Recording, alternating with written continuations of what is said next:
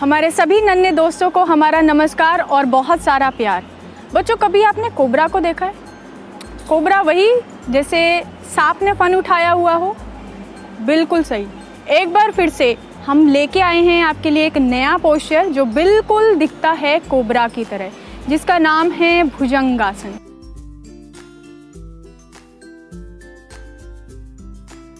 भुजंगासन के बहुत सारे फ़ायदे हैं। जैसे ये आपकी कमर की मांसपेशियों को मज़बूत करता है आपके फेफड़ों की कार्यक्षमता को मज़बूत करता है और अगर आपको फेफड़ों से संबंधित कोई रोग है तो उसको ठीक करने के लिए भी इस आसन का अभ्यास किया जाता है। तो चलिए एक बार फिर जानते हैं कि भुजंगासन कैसे करते हैं।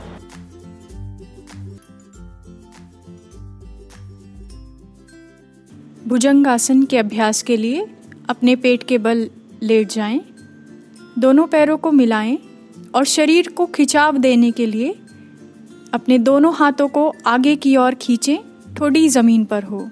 अब सांस छोड़ते हुए दोनों हथेलियाँ अपनी छाती के नज़दीक ज़मीन पर रखें और धीरे धीरे श्वास को भरते हुए आपके ठोड़ी और छाती को ऊपर की ओर उठाएँ।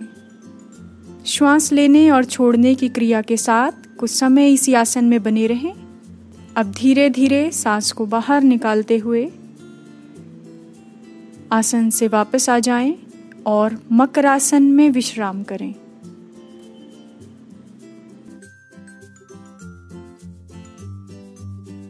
तो बच्चों, हम आशा करते हैं कि आज का आसन आपको अच्छा लगा होगा और जब भी आप इसका अभ्यास करें तो हमें शेयर करना ना भूलें।